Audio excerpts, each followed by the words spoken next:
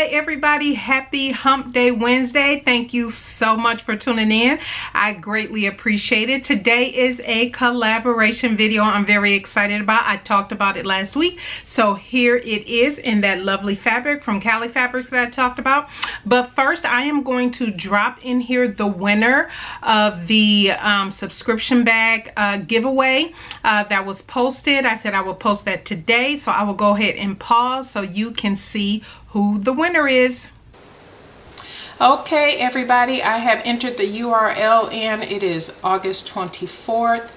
So we are going to go ahead and get our YouTube comments here. And it says we have a total of 28. And let's choose our winner.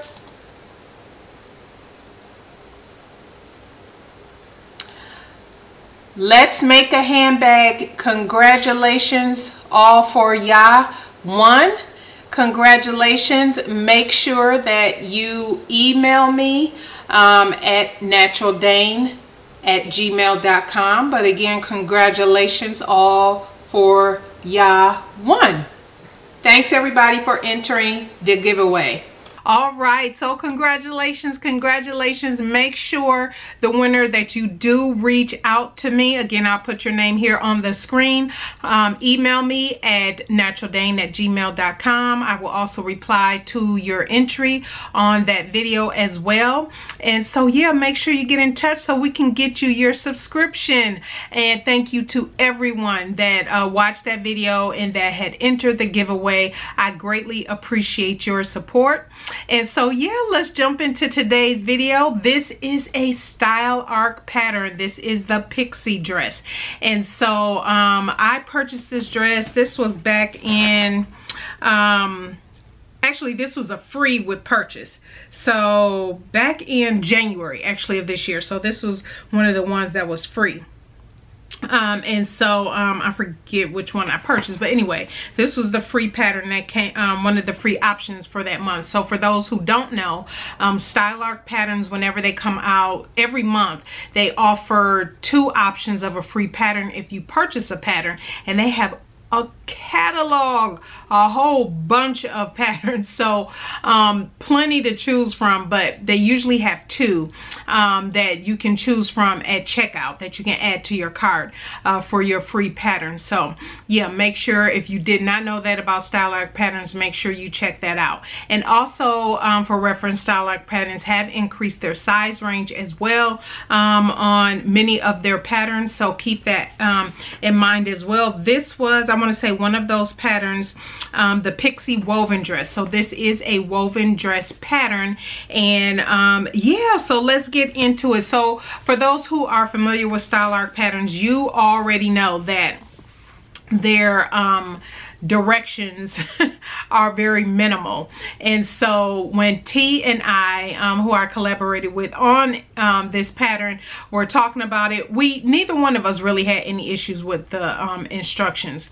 Um, and so and speaking of Tea of course that's who um, I did the collaboration with. Make sure you go check out her video. Uh, her dress is absolutely beautiful. Now she did something that um, with her dress that I didn't uh, do and you guys will see as um as I go over my review. But I want to thank and give shout out to Tea from Crumpets Tea and Sewing again for doing this collaboration.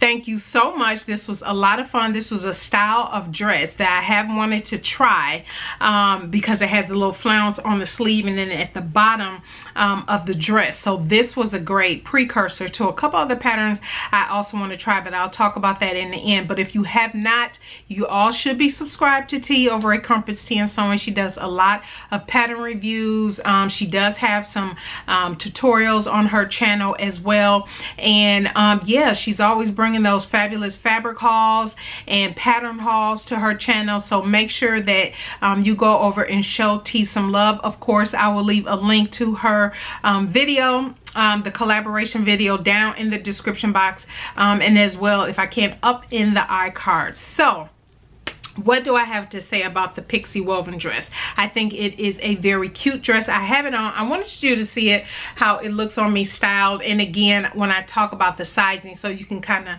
um, see what I'm saying, then I'll take it off so I can show you the um, inside. Um, but for reference, my size, I'm a full bust right now, 45.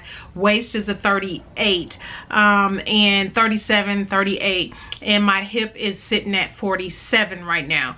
Um, and so I cut out a size based on the finished garment measurements. Now on the pattern um, instructions, you will see that there are finished garment measurements listed. And so then you'll have to figure out about how much ease you're going to want in your uh, garment. So I usually like two inches, 2.5 maybe. It depends on the style of ease. And so I went with because my high bust is 39 so I went with a size 12 for the bust which is 42 and 7 8 inches. Um, but then I graded out over um, this area and I'll get up in a moment um, to a 16 and then I went out to a size 22 so the pattern that I have um, it goes up to a 22 but the pixie goes up to a size 30 which is just so you know a bust of 63 and a hip of 68 and a half.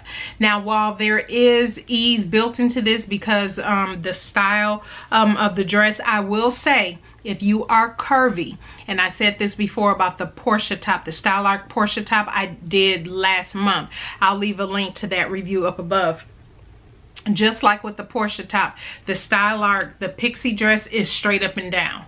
So you will need to grade out um, unless it depends on your body shape. So for me, I am curvier. And so um, I did have to grade out from the 16 all the way out to the 22 um, on this dress. So I would have the, the room that I need in my hips. Now, um, the interesting thing is for a size 16, the hip is, it says is a 52 and 3 8 inch in finished garment measurements. I don't believe that that's the case because that's straight up and down. I'm not straight up and down. So I had to go out to a 22, which was a finished garment measurement of 59 inches at the hip. So you definitely have to keep that in mind when you are measuring for your size um, for this particular pattern. So when um, I say I started at a 12 um, and then graded to 16 to 18. So this is what I did because my uh, I always uh, deal with the narrow shoulders and patterns. So I decided to um, start here at a size 12. And hopefully you can tell, I know this is a geometric print, but of course I love it because it is in my favorite color. I love, love, love it. Um, and so in this fabric, I will say, let me pause for the cause for this fabric. This is from Cali um, Fabrics and it is so pretty. I absolutely love this fabric. It's nice and soft. Um, I'll tell you in a minute. I could have used another yard of it, but I'll tell you why in, in a moment. But because I only ordered three yards and at the time it was on sale for $6.79 a yard. Um, it could still be on sale Either way, I'm to link to it down below, but I absolutely love this fabric. Easy to sew. It's a rayon, rayon challis. Yes, rayon challis. And so it is absolutely beautiful. Um, so I started here at a 12 because I know I'm narrow I'm more narrow at the top if I can get the words out. And so you all know I don't like doing full bust adjustments. So if I can uh, grade between sizes to get the fit over my bust that I want, we will do that. Um, and so, but I, let me tell you, I could have lengthened this, but we'll talk about that in a moment. So as you can tell here, so it's sitting right at my shoulders and then I went out to a 16 here. Oh, um, because there's notches on there. There's actually a side uh, bust darts, but they're more towards the back. And so technically I should have lowered my dart probably about a half an inch, but I didn't because you can't tell you can't even see it. And um, with the print and everything like that you can't tell anyway. And so um, from the there's notches here I then went out to a 22 so it can give me some room because as you can tell if I stayed at a 16 this thing would have been so tight and it would have looked straight up and down. And so now I got you know the movement down here um, that I needed and so let me take this off real quick and come back um, with some of the things that I could have changed for the pattern. Okay, so I uh, changed out of the dress real quick. So um, a couple things. Um, so far as the instructions, I mean, they're very minimal there it's all words um, you do have the pattern illustrations um, where there's a construction guide so it's not for each um, instruction then you have the picture so there's more of a pattern instruction guide which I thought was pretty easy to follow. Oh, for the most part, I think this dress is very easy to put together. Nothing complicated at all. It has the facing pieces. You have the front and back the facing pieces. The back is cut in two pieces obviously because you have that opening um, in the back and then you have the flounce and then you have the sleeve and the sleeve flounce. So not a lot of pattern pieces at all. And if you've ever put dresses like this together before at least for me for some of the instructions I didn't even follow. I was like oh yeah I know uh, what to do here, what to do there. But um, so I found it to be uh, relatively uh, easy and smooth um, to put this particular dress together. But I have it here. One of the things I will say I did not do I am five seven for a point of reference. I am five seven, and typically I like my um, dresses, skirts to end about mid knee um, um, is usually where I'm most comfortable. Um, around mid knee is good for me. Um, I didn't measure this pattern. I did not measure. Um, looking at, and I'll put up the line drawing again, looking at the line drawing, um, and I should have measured for a couple things. The, um, although the dress for the line drawing looks like. The um, flounce hits right at the knee or um, for the leopard print version the animal print version might be uh, a little lower than that just slightly. I still should have measured and I didn't. Being five seven this is two inches in the front too small for me. Now here's the thing. I could have actually lengthened the um the dress by two inches. And um i still would have because if you notice in my pictures uh that will pop up. It's more of a high-low hem on me and it's because my breast my breast is lifting up the front of the dress.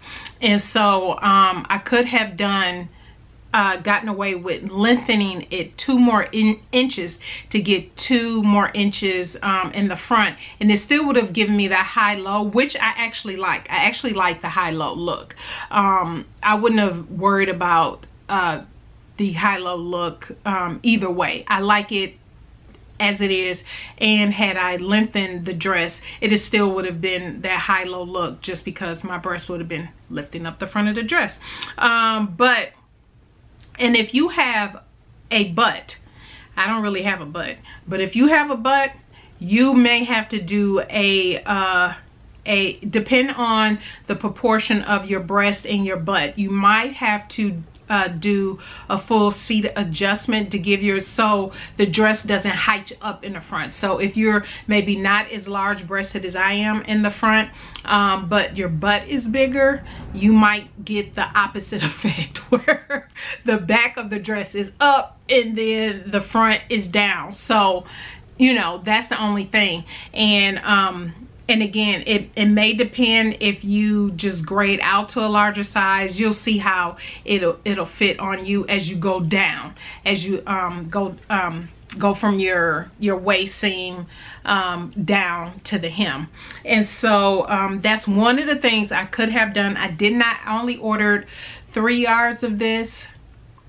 I probably because the flounce is two pieces I don't have enough to cut two more pieces. I can cut one flounce piece, but and maybe if I adjust the um the width of the flounce but i don't want a skinny i wouldn't want a skinnier flounce piece added on the end so what i decided to do is because I use that variegated thread, the swirl thread. Remember the swirl thread I showed you from Wawak from last week, Wednesday? I used that thread um, because I wasn't sure if I wanted to French seam this or um, serge it. So I decided to serge it for two reasons. One, because I did have to grade all the way out to the fullest size to make sure it went over my hips. I didn't want to accidentally, by um, doing French seams on it, take away from any of the um, width. I knew the room that I, I know I needed. So I used the, uh, the swirl thread or the variegated thread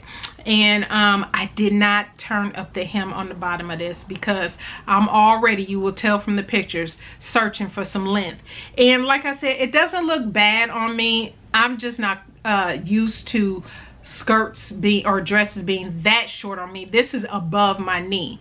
And like I said, it doesn't look bad, but it's not normally the length I would like. And I will most certainly wear this for sure. It's not going to stop me from wearing it um because this uh, purple as you all know that color just makes me happy. So um here's what i did. I used that variegated thread and just serged the bottom.